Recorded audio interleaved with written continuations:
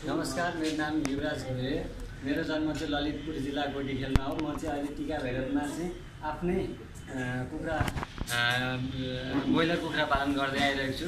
मैले चाहिँ अहिले तिनवटा खोरमा लगभग हजुरको दुई महिना तिन महिना घरिमा चाहिँ फिफ्टिन फिफ्टिन डेजमा चाहिँ चल्लाहरू हालेर तपाईँको आठ हजारदेखि माथिको चाहिँ कुखुराहरू चाहिँ उत्पादन गरिरहेको छु। र मैले चाहिँ खास आफूले गर्दा गर्दै पनि मैले गरेको मिलेको छैन कि केही भइरहेको छ कि कमी कमजोरी छ कि मेरो मैले आफ सेल्फ डिसिजनले मेरो गलत डिसिजन लिइरहेको छु कि भन्ने कारणले चाहिँ मैले र मैले अझ मेरो कुखुरा फार्ममा चाहिँ कसरी व्यवस्थित गर्न सक्छु भन्ने कारणले मैले स्मार्ट कृषिमा चाहिँ आएर ट्रेनिङ लागि जुन सोचेर आएको थिएँ त्यो चाहिँ आज मैले एकदम पुरा भएर म एकदम खुसी छु।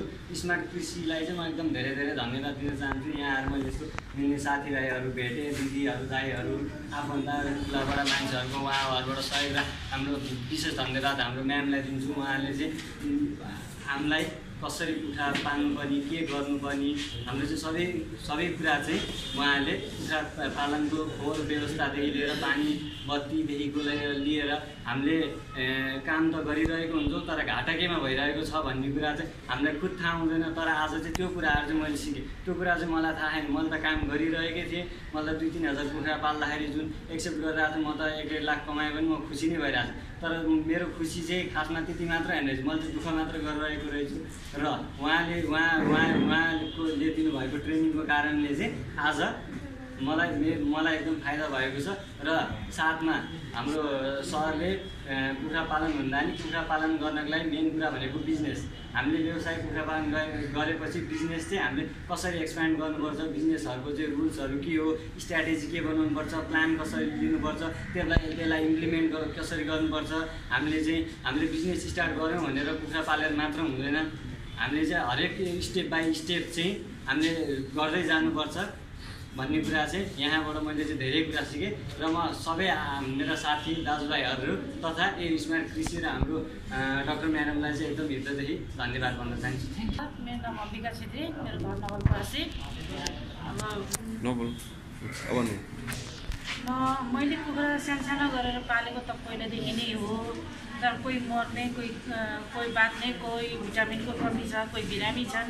हामीले त्यस्तो रोगी कुखुराहरू खाएर खुवाएर चाहिँ हाम्रो निश्चय प्रगति त हुँदैन। म पनि बाहिर गएर आएँ त्यहाँ बाहिर गएर आउँदाखेरि कृषिमा विदेशीहरूले धेरै धेरै राम्रो लगानीहरू गरेछन् राम्रो उत्पादन गरेछन् राम्रो देशलाई दिइरहेको छन्। तर हाम्रो नेपालमा चाहिँ निर्यात त हुँदैन कुनै पनि चिजको आयात मात्रै भएको भइ गर्छ। र किन नेपालमा हामी कृषकहरू वा कुनै पनि बिजनेसम्यानहरू घाटा खाइरहेछन्? र गर्न त मिहिनेत त भनौँ भने वास्तवमा भनौँ भने बाहिरको विदेशीहरूभन्दा हामी नेपालीहरूले धेरै मिहिनेत गर्छौँ। तर मेहनत मेहनत अनुसारको प्रतिफल हामीले पाउन सकेका छैनौँ। यसको कारण किन भन्दा अज्ञानताले। यो अज्ञानता कसरी हटाउने भन्दाखेरि अब हामी साना कृषक हौँ ठुलो कृषक हौँ हामीमा त्यसको सम्पूर्ण ज्ञान छैन जानकारी छैन भने हामी जति मिहिनेत गरे पनि जति दुःख गरे पनि उयो हात त पुनपुराको पुनपुरामै हुन्छ। र यसको लागि के चाहिँ राम्रो छ भने यस्ता कृषि सम्राट कृषिलाई धन्यवाद दिन चाहन्छु किनभने यहाँले विज्ञापन दिनुभयो। विज्ञापन मैले हेरेँ विज्ञापन हेरेपछि म ठुलै लगानी नगरिकन थोरै लगानीबाट ठुलो व्यापार गर्छु। र यसलाई मैले कसरी हुन्छ मैले व्यापार गर्नुभन्दा पहिला म यसको तकनिक सिक्छु र यसको ज्ञान लिन्छु र मात्र अगाडि हात हाल्छु भनेर म यहाँसम्म आइपुगेँ। हिजो अब म तराईवासी काठमाडौँमा आएर बस्न त मलाई पनि गाह्रो नै निश्चय अवश्य नै भएको हो र पनि म मेरो ज्ञान सिक्न छ भने मैले केही दुःख गर्नै पर्छ भनेर म यहाँसम्म आएँ। यहाँ आउँदाखेरि मैले के एउटा देखेँ भने एउटा उज्यालो किरण दिएँ। हिँड्न त आफूले हिँड्नै हो नि तर अन्धाधुन्द हिँडेर त भएन। त्यसमा ज्ञा ज्ञानको बाटो चाहियो। त्यो बाटो यहाँहरूले दिनु देखाइदिनु भयो मलाई। र यसमा कस्तो खालको बाटो भन्दा चाहे म आफ्नो घरको लागि मात्रै गरौँ चाहे मैले ठुलो बिजनेस प्राइभेट लिमिटेडमा खोलौँ तरिका भनेको यो हो। र यो यो किसिमले यसरी जाँदाखेरि यो हुन्छ यो हुन्छ यो यहाँबाट यसरी गर्नुपर्छ भन्ने हरेक कुराहरूको ज्ञान दिनुभयो। जो यो ज्ञान मसँग थिएन पालेँ थिएँ मैले पनि तर ज्ञान बिना पाल्नु र ज्ञानसहित पाल्नुमा फरक हुन्छ। मैले यो ज्ञान पाएँ दुई दिनको तालिममा सिप पनि पाएँ। कसरी ब हाम्रो सबैभन्दा मेन कुरा के हुन्छ उद्देश्य र जाँगर सबैको हुन्छ। गर्छन् सबैले लास्टमा गएर कहाँ घाटा खान्छ भन्दा बजारमा। हामीले बजार कसरी गर्ने त्यो थाहै हुँदैन। अब एकैचोटि उत्पादन गरेर एकैचोटि त हामीले सदुपयोग गर्न सक्दैनौँ न त गाउँघरमा सक्छन् त्यसको लागि बजार व्यवस्थापन चाहियो बजार व्यवस्थापन छैन।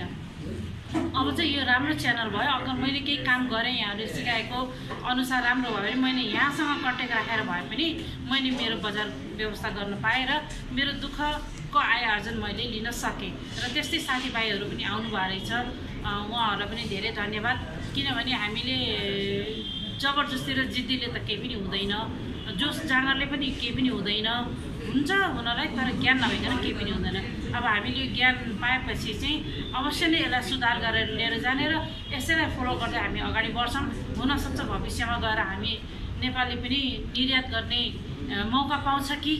र इन्टरनेसनल मार्केटमा पनि हाम्रो नेपालीको मासुमा चाहिँ विश्वसनीयता पैदा गर्न पर्यो र यसका लागि हामी सबैजना भएर एकजुट उठ्न पर्यो। यसका लागि कृषि सम्राट कृषिलाई धेरै धेरै धन्यवाद। नमस्कार।